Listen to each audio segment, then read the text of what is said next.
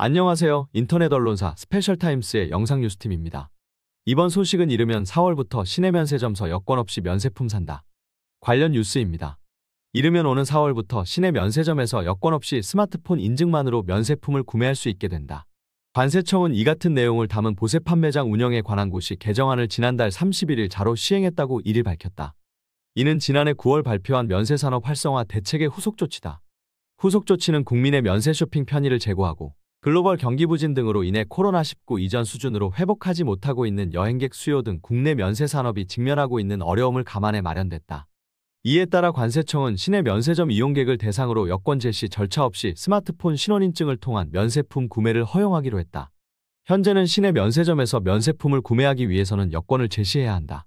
스마트폰 인증 서비스는 오는 4월부터 시스템 개발이 완료된 면세점에서 순차적으로 이용할 수 있다. 또 관세청은 오픈마켓이나 메타버스 등 다른 온라인 플랫폼에서도 면세품을 판매할 수 있도록 허용하기로 했다. 그동안 면세점은 자사 인터넷몰을 통해서만 온라인 판매가 가능했다.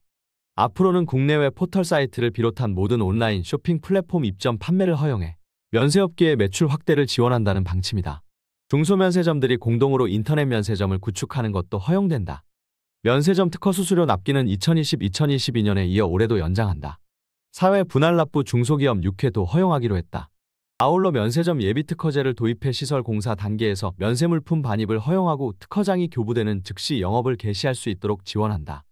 특히 K-팝 음반, 국내 아이돌 상품 한정판 등과 같이 예약제로 선주문 판매되는 제품의 경우 우선 판매를 진행한 후에 물품을 반입할 수 있도록 허용한다.